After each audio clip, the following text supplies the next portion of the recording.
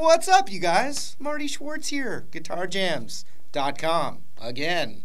Uh, this song is kind of a sentimental one. One, it's from uh, the movie The Blues Brothers. If you're, you know, old enough, you'll remember that flick. Great movie. You should check it out. Good, a lot of uh, legendary soul artists in it as well. So anyway, it's from the Blues Brothers. It's the opening of the movie, which is kind of a sentimental thing for guys like me. Uh, but then also it's like an unusual blues progression. So it's not your basic 12 bar blues. And I don't think I've broken down the blues quite like this before. Kind of like the other thing about this tune is it was actually uh, the first like professional band I was ever in. We did this song, so it's kind of nostalgic for me. Uh, anyway, I'm going to break it down for you. It's a great little blues progression. And oh, I also have some bonus uh, blues lessons in that link down there. You can check that link out. I really appreciate it. But enough of that. Let's zoom in. Here we go. All right, so here was kind of a cool blues progression that I was thinking about that's not your standard 12 bar blues, but it's still blues. And the other thing that's kind of cool about it, uh, but also a little more challenging, is that uh, we're going to play it in the key of B flat, which is, you know, we're going to have this B flat 7 chord here. I mean, you know, it shouldn't be too much more difficult than like playing an A, but, you know, it's just kind of good sometimes to play in one of the flat keys on guitar. So we're playing a bar chord right here on the 6th fret. You know, you take the regular bar chord, pull your pinky off, you got a B flat 7 chord. So it starts with that, and then, so that's the 1 chord of the blues. Uh, the five chord of the blues is F7. I'm going to actually play an F9 chord here because it's just a real common guitar thing. So the F9 has the middle finger on the F note, which is the eighth fret of the A string, seventh fret of the D, and then the ring finger comes across the eighth fret of the G, B, and high E. So we're going to play that as E flat, or I'm sorry, F9. So you got B7, B flat 7. See, I'm saying not saying the flats. B flat 7 to F9 back to B flat 7. Same thing again. Uh.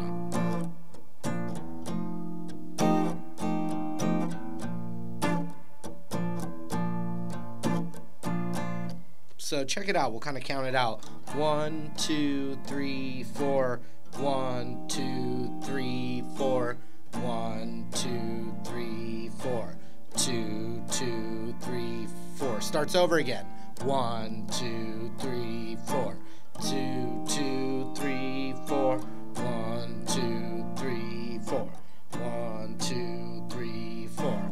Okay, so that's the main verse of this kind of blues. There's a really cool turnaround, and it also uses kind of a more uh, you know, like chord used more in jazz. Uses a, a, a, diminished chord, but it's not that hard to do, and it sounds great. You're gonna like so the it. second section, we're gonna take uh, that B flat chord, and we're gonna just play a regular B flat bar chord. Two, three, four. Then we're gonna take our pinky off, and you can even add this seven right here, which is the uh, ninth fret of the B.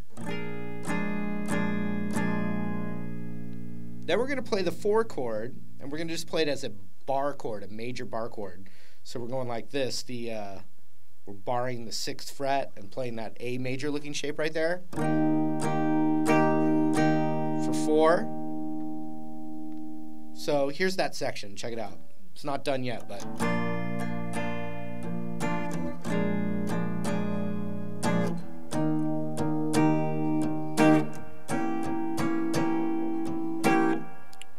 Got to play that that last chord we got to learn, and that's the diminished chord. We're going to call it E diminished. The weird thing about a diminished chord, any one of these notes can be the root. That's a weird thing about the diminished. But let's just learn how to play it. Middle finger's on the root, seventh fret of the A string.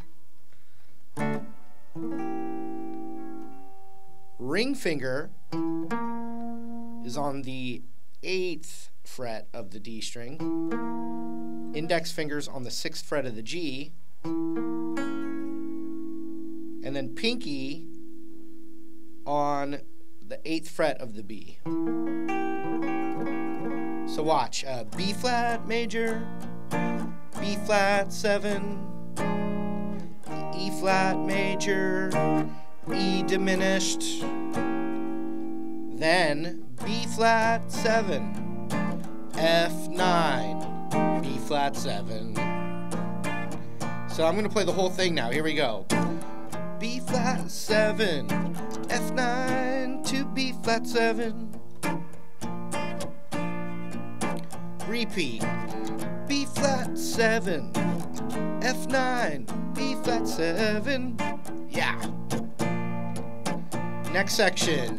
B flat major, B flat 7, E flat major, E diminished, B flat 7, F9, B flat 7. And as I've given in other blues rhythm lessons, the B flat when it's play, when it's vamping on that B flat like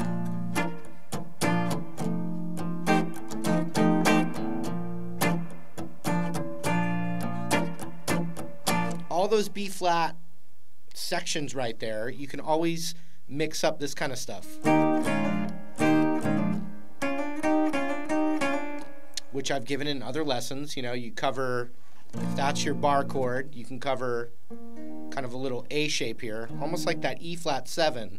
And then hammering on that major third of that B7 chord. So you could like cover the sixth fret of the G, B, and high E, or even the D as well. And then you're going to hammer up a half step on that G string.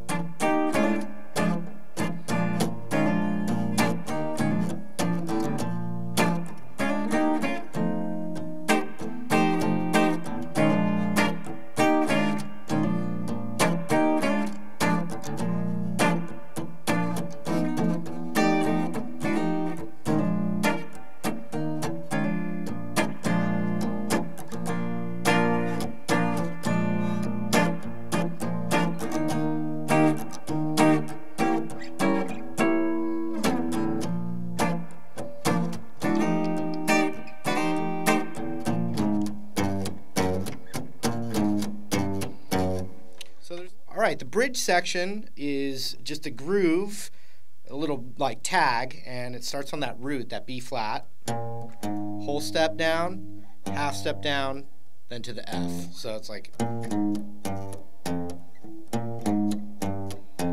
And it does two of those.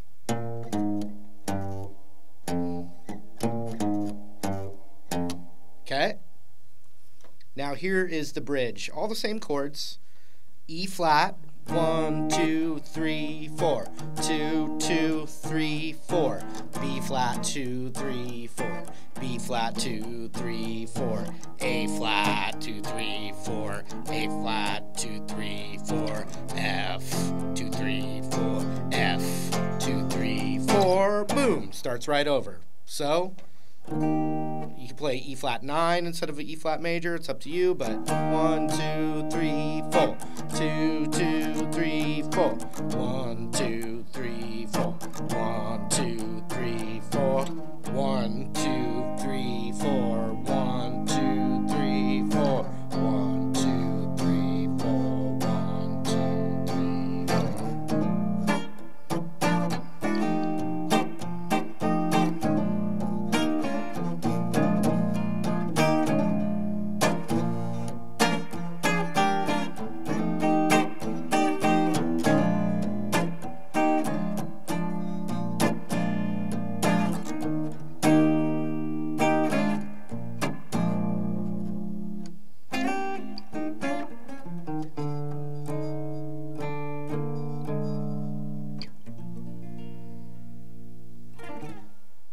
right, that was the uh, lesson. It's fun little, uh, fun little blues progression. Hope you enjoyed it. I've got the bonus blues lessons right down there in that link. Thanks for hanging out for a bit, and hopefully I'll see you in another lesson real soon. Take care.